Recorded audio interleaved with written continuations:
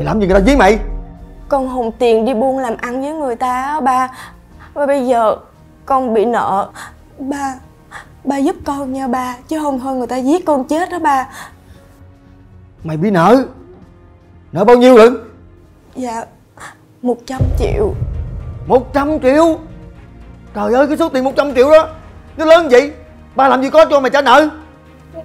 Ba ráng giúp con đi ba. Chứ không thôi người ta giết con chết đó ba Mày kinh doanh cái gì mà mà, mà, mà cái trăm triệu Mà tôi nghe coi. Dạ Con Hùng với người ta buôn đồ si Nhưng mà người ta ôm tiền bỏ trốn Cuối cùng còn ôm một đống nợ. Ba cái đồ si đó có mấy chục ngàn cái à. Mày đầu tư cái gì vô đi vô cái, cái, cái, cái trăm triệu trong đó? Ba Ba nói như vậy á Là ba không muốn giúp con rồi phải không ba? Đúng là khát máu tanh lòng mà Còn nói kiểu gì kỳ vậy? Ba. Ai vậy?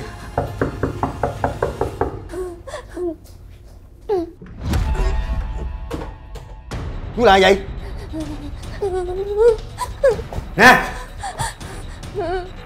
Mày nhắm mày trốn từ đường hung quỷ cái hả? Dạ Em không dám trốn đâu anh. Mà có, có chuyện gì vậy? Mày đứng im đó Để tao nói chuyện với ổng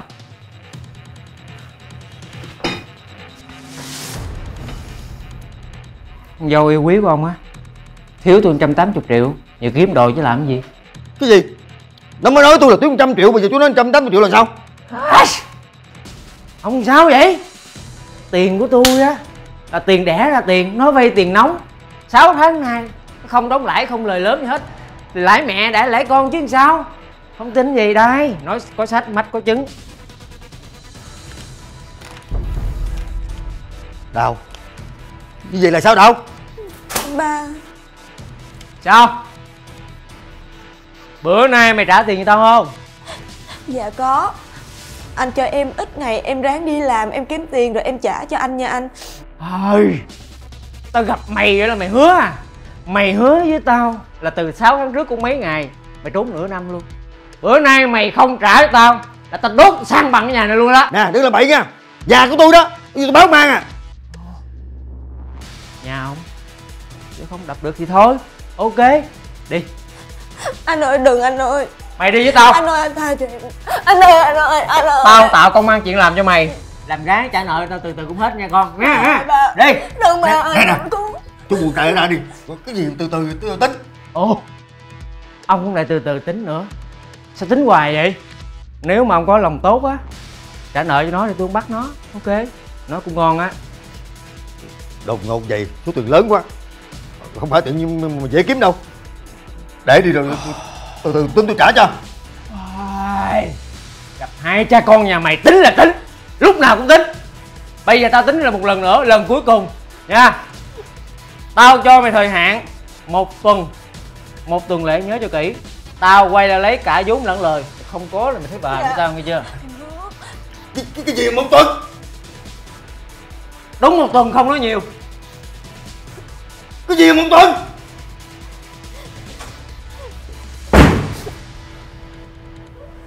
Sao tự nhiên bác treo bản bán nhà vậy?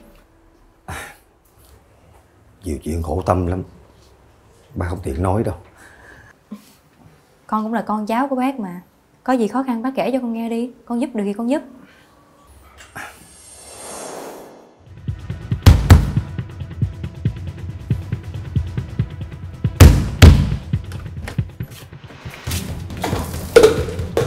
Nè ông già Bữa nay mà không trả là không còn cơ hội đâu nha.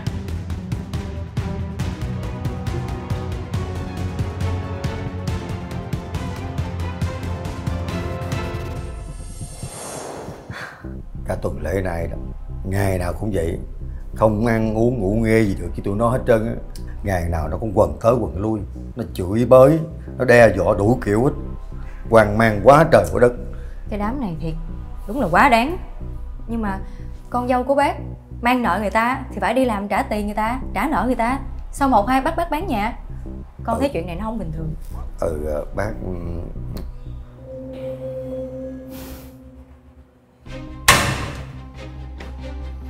Đó Con coi đó.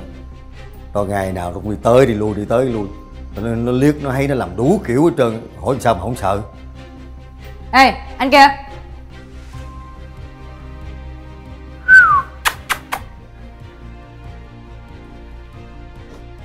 sao cô em?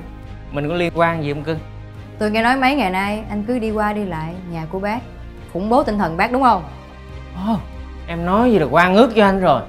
Khủng bố gì đâu mà khủng bố. Trời ơi chú cháu thương hết khủng bố hồi nào. Tôi nói cho anh biết nha nợ ai người đó trả anh tìm đúng người mà anh đòi. Đừng có khủng bố tinh thần bác như vậy đừng có ỷ người già bớt hiếp. Tao không hiếp đó. Mày làm gì tao? Liên quan gì? Liên quan chứ tao là cháu của bác. Hô, mày là cháu hả? Sẵn kêu cháu cưng trả nợ giùm đi rồi tao im xuôi có làm gì đâu. Bữa nay có người dám đòi nợ chị chính nghĩa này hả? Ừ. mười nghĩa tao cũng đòi nữa. Nhớ trả tiền nha.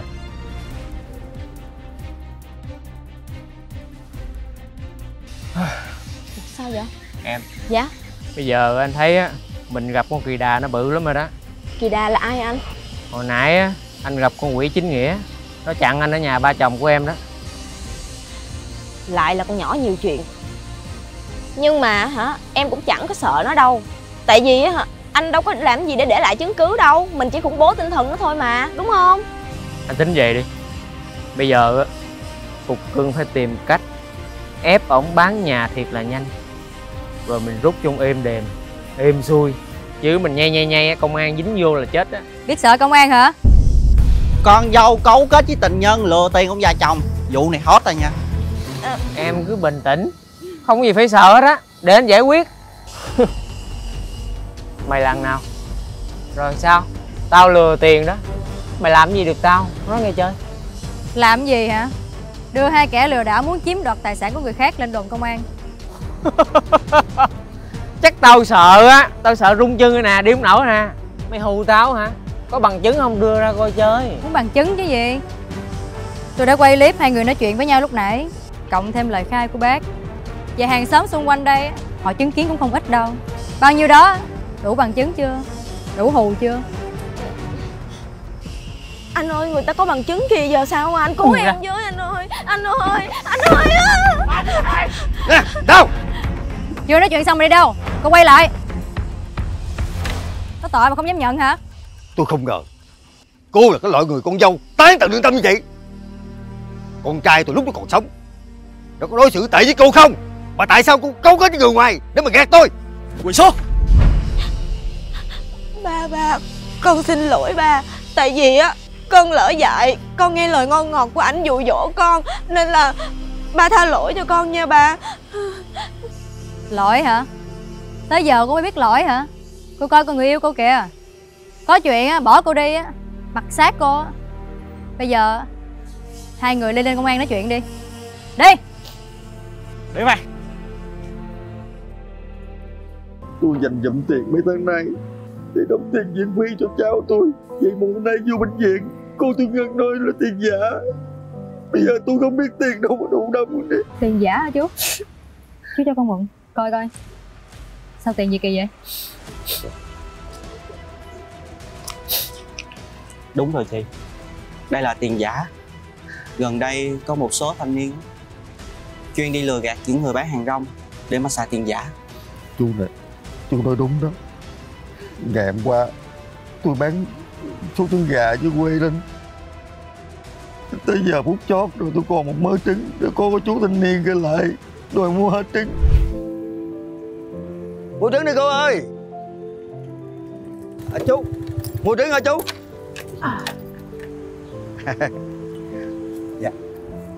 Trứng này là trứng gà ta trứng công nghiệp vậy? Thì trứng trứng gà ta đó trứng gà nhà tôi nuôi đó. Chắc gà ta không? Trời ơi gà tôi không có gạt chú đâu nhà gà vườn nuôi đó. Chứ ờ, tôi sợ mấy trứng tầm bậy tầm bạ lắm ăn bệnh chết. Không có đâu tôi bảo đảm với chú đó. Chú bán ờ, này chục nhiêu? Cái này là một chục năm chục ngàn. Chục năm chục ngàn hả? Ừ. vậy ờ, lấy hết cho tôi đi Ủa, lấy hết luôn hả? Nhiêu tiền chú chính con luôn. Trời ơi may quá cảm ơn chú nhiều. Để tôi đếm coi nha. À à đây đây đây. À, tổng cộng hết này á là 300 ngàn. À 300 hả? 300 để tôi gom cho bạch cho chú nha. Trời ơi may mắn quá. Nhờ chú nè nay cho tôi về sớm nè. Để đây đi cho đỡ sốc. À, à rồi rồi. À, rồi rồi. Tổng thiệt hại hết 300 phải không? À, ba trăm ngàn. Chú có tiền thối không? Đưa tờ 500 á. À, đưa tờ 500 rồi ha à, à, chú đưa tờ 500 ha. Ừ. để tôi gom coi. À, à trời ngày quá. Đây thôi là chú 200 à, nó hơi lẻ xíu cho thông cảm nghe. Không sao đâu. Ừ, ừ. À, cảm ơn chú ha. Trời ơi, thời nhờ chú bữa nay tôi về sớm. Bữa nào ghé ủng hộ tôi nghe. Ờ. Tôi mừng lắm. Tôi bán hết cho chú. Chú đưa tôi tờ này Bây giờ thì nó biết là tiền giả Người như chú có bao nhiêu tiền đâu mà tụi nó cũng lừa cho được. Gạt ít nhưng mà nhiều người. Thử tụi nó đi vô cửa hàng gạt đi. Người ta tóm cổ nó liền. Mày hay quá ha. Chú ơi Ở đây con có ít tiền á. Chú cầm để lo viện phí cho em Cho con chú nha. Thôi thôi tôi không dám nhận đâu. Ờ, Tôi với cô cậu đâu quen biết gì đâu mà tôi nhận. Tôi ngại lắm. Mai mốt làm sao mà tôi tôi trả được? Tôi không dám nhận đâu. Dạ chú yên tâm. Chú cầm lấy đi. Xã hội này á Có người xấu cũng có người tốt mà chú. Với lại con cũng đâu ý đòi lại đâu. Ừm, Dạ. Chú yên tâm. Tiền mà chú bị mất Con sẽ tìm cách lấy lại cho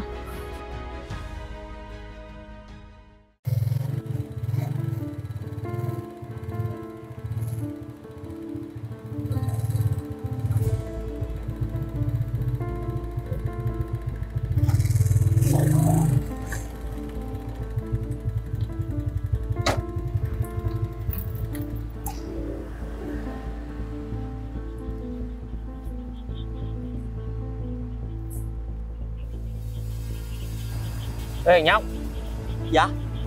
Hồi trước thấy ông già bán nay sao mày bán đây nó vậy? À ông em bị bệnh rồi anh ơi. Bữa nay em bán thế cho ông em mất Ờ Trứng này ờ, bán sao đây? Hộp gà này hả anh? À, trứng 6 ngàn. Bây giờ ờ, tao mua hết. Mày tính giá mão cho tao đi. Anh mua hết này luôn hả? Đúng, tao mua Rồi. hết. đợi em xíu dạ hết này 600 ngàn anh. 600 hả? Dạ. Rồi, đây tao phụ cho.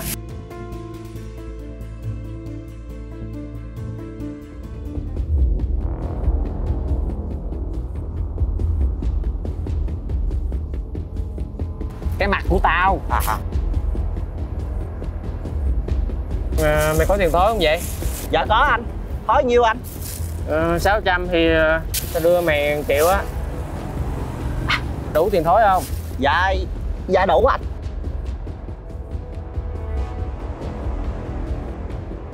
Tiền nè. Dạ. Có bộ lừa tiền người nghèo dễ quá ha. Ê cái con này Tao lừa vậy mày. Mua trả tiền đàng hoàng nha. Đúng là trả tiền.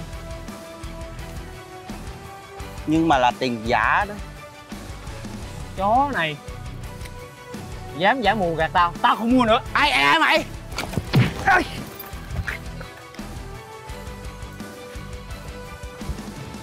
Sao?